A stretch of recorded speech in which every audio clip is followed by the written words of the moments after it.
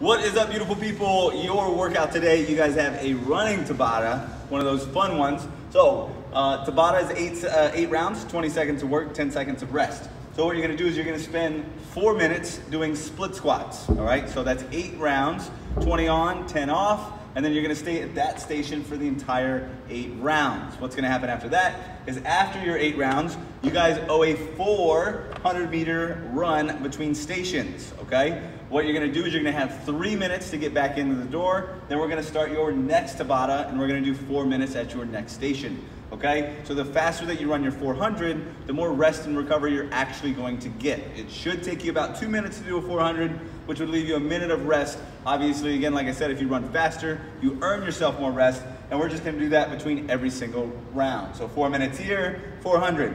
Four minutes of touchdowns, 400, so on and so forth, doing that 20 and 10 off the entire time. Okay, so split squats.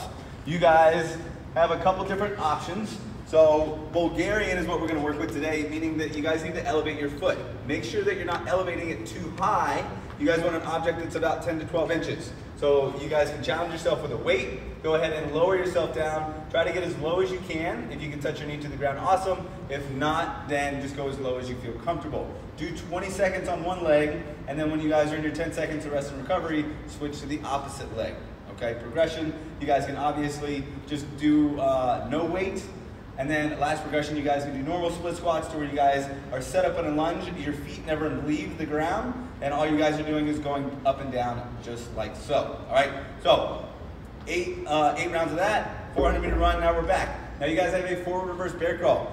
Big thing that we want to focus on is keeping your butt low to the ground today, all right? So she's gonna stay nice and low. It's gonna engage her core and her hip flexors more. She's gonna go four steps forward, four steps back. What we don't want to see is your butt way up in the air. We want knees bent and your back should be relatively flat to the ground, all right?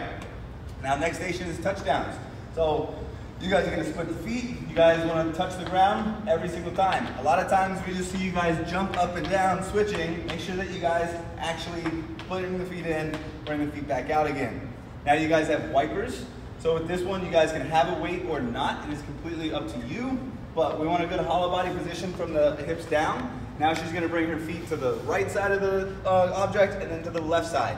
Trying not to touch your feet to the ground every single time, trying to stay active the entire time, all right? Now, last station, you guys have handstand push-ups or strict press. So if you guys do not have handstand push-ups, you guys are gonna do a strict press. We're gonna show you both. So kick up to a solid piece of wall. Do not kick up into your drywall. Oh, drywall knees down, go ahead and drive up, and then kick every single time. You guys can stack objects. Easy thing is just to stack some uh, beach towels or something like that underneath you if you need it.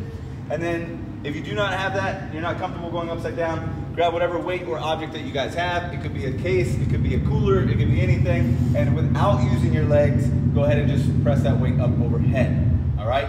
Run fast, take chances. We'll see you tomorrow.